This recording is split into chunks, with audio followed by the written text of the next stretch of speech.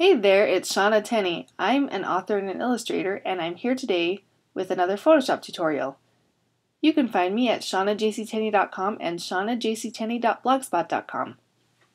So in my work as an illustrator, I often get asked to put the characters into a separate layer than the background.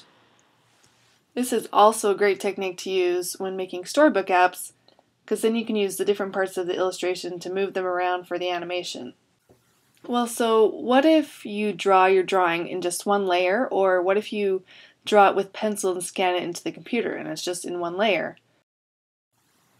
How do I separate out the different parts of the drawing, like for example, the different characters, and put them each into their own layer? Well, I'm going to show you that today. So what I'm going to do is click on Channels, select the channels, and then select Inverse. So now just the lines are selected. Then I'm going to go and make a new layer and go to my swatches, choose black, click Alt and delete, and that fills in just the lines in the new layer. Then I'll make a new layer and deselect by clicking Command D and select all by clicking Command A. Then I'm going to go to my swatches, select white, and then in the new layer, click Alt Delete and that fills in the new layer with white, as you can see. So you have your line layer and your white layer. If you click on the line layer, it should disappear, and you, all you should see is white. Then I click Command D to deselect everything, go to my Layers palette, select my line layer, drag it down to the New Layer icon down at the bottom of the Layer palette. That makes a copy of the line layer. Now I have three identical line layers.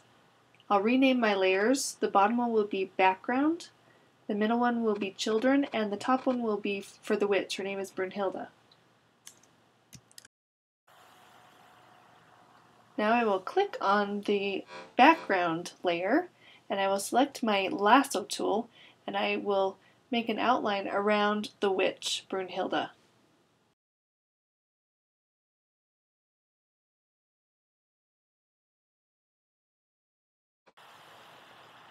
Now I'll hold down shift to add to the selection and outline around the little girls riding bikes.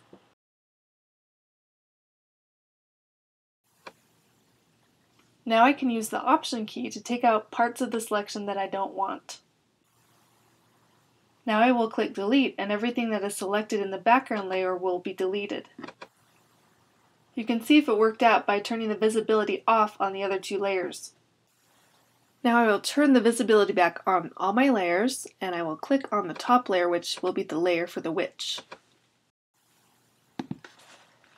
Now I will go to the select menu and select inverse and what that does is it will select everything else in the image. So instead of having the witch and the children selected, everything else that it was not selected before is now selected.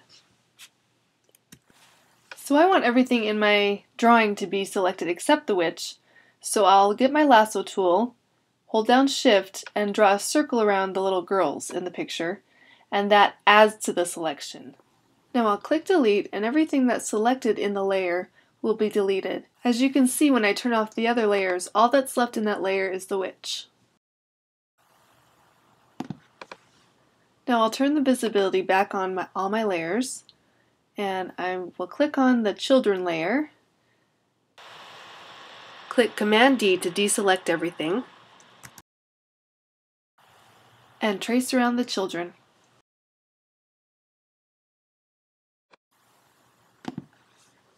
Then I'll go to the Select menu and click on Inverse. And that of course selects everything but the kids. Then I'll click Delete and as you can see when the uh, other layers are turned off. Everything else is deleted except the children.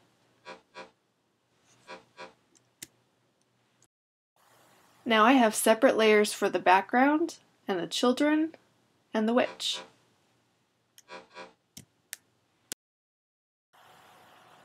Now I'll just go ahead and fill in some details that were missing in the background drawing.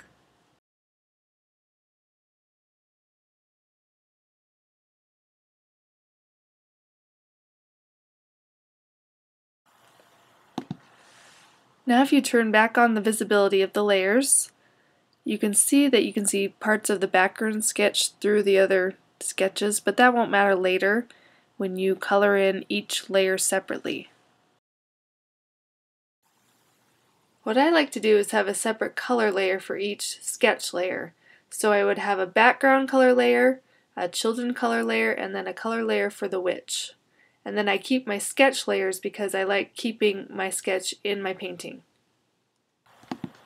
Here's a quick example of what I do with this technique. I've turned off all of the layers except the background layer and I'm just painting in the background layer first. I like to change the color of my lines so I can use my sketch right into in my painting. So I click on my background sketch layer and I click on that little checkered box on the top of the layer palette and that locks the layer. So now I paint with an opacity of 10 and now it will just paint on the lines only.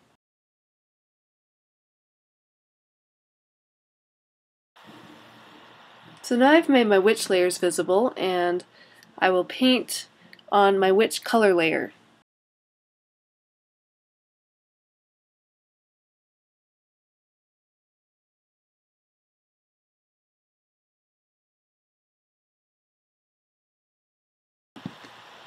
Here's an example of what I did with a client job.